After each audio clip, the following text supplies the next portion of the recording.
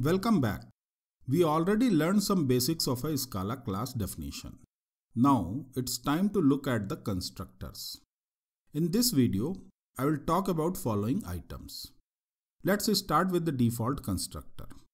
Every Scala class comes with a default primary constructor that doesn't take any argument. So, if you look at this example, you don't see a code for a constructor. We haven't defined any constructor, but there is a default constructor that doesn't take any argument. And that's why we can instantiate this class using an empty argument list. If you want to change the default constructor, you have two options, primary constructor and an auxiliary constructor. Let's talk about the primary constructor. I want to take you back to the Java world and build Scala concepts on top of that. So let's look at the typical Java class. We have a public class. We declare some private variables, create a constructor, then we create a get and a set method, right? Scala's philosophy is to save you from unnecessary typing and help you create a concise code. On that note, we already learned that if we make the radius public, we can get rid of these two methods. Scala compiler will automatically generate these methods. We already learned that, right?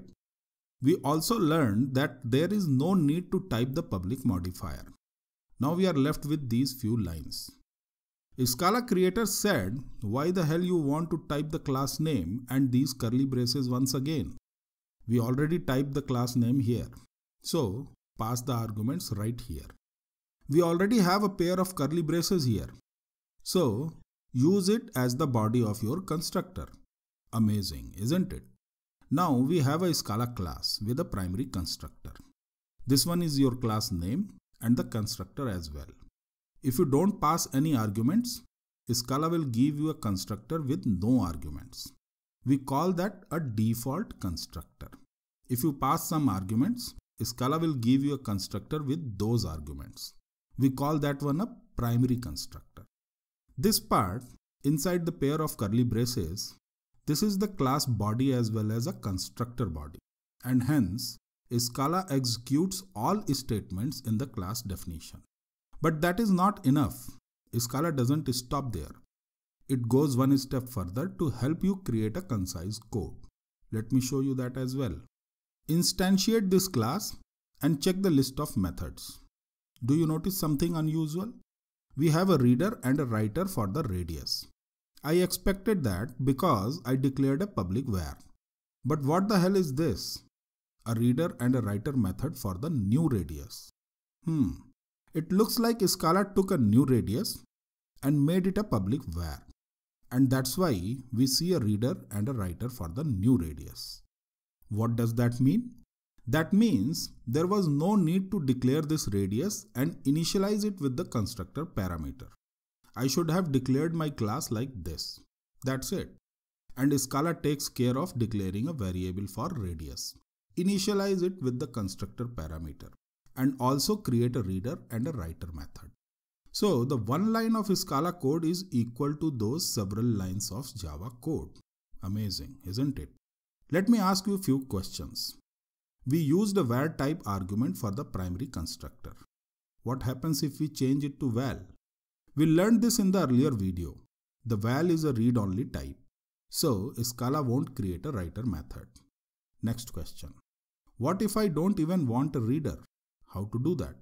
Remember, I asked this question in the earlier video. The answer is still same. Make it a private val. Scala will create the reader, but it will make that reader private. There is another alternative to achieve this. Don't tell Scala about the type. This code doesn't specify anything, neither a val nor a var. As a result, Scala won't create a reader or a writer. It is as good as private val. However, in this case, Scala makes the radius an object private field. I hope you understand the difference between a private and an object private field. So far so good. But when I create a primary constructor, I lose the default constructor. The constructor with no arguments is the default constructor. If you define some arguments, it becomes the primary constructor and you lose the constructor that takes no argument. How do you fix that? You might need multiple constructors. Let's try to understand that with the help of an example. I have a requirement to create a class for a box. The box should have three instance variables, width, height and depth. We also need three different constructors. A default constructor that doesn't take any argument. The default constructor should set all these variables to a unit value. We also need a proper constructor that takes all three arguments.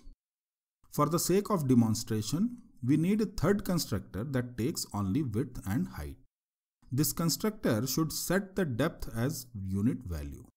Along with these constructors, we also need a reader and a writer method for all three variables. How can you do that in a Scala style? Let me explain. We need three constructors.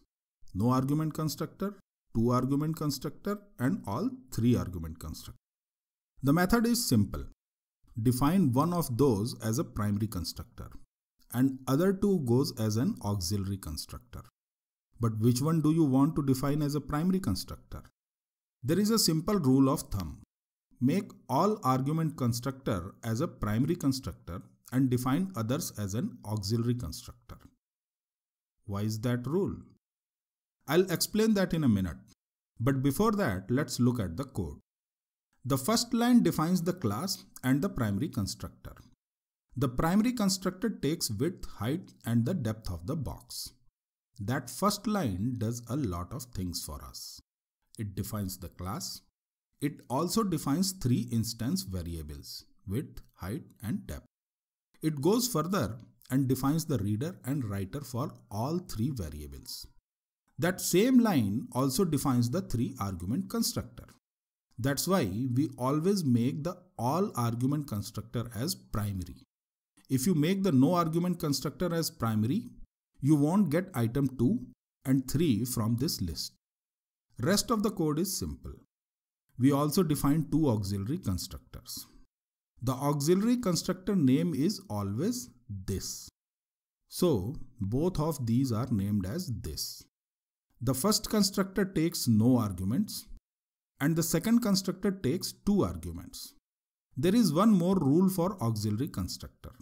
The auxiliary constructor must start with a call to a previously defined auxiliary constructor or the primary constructor.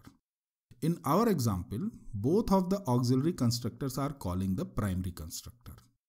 The first one is setting all values to 1, whereas the second one is setting the depth as 1. The last line is to display all the three values. I kept it there for testing my code.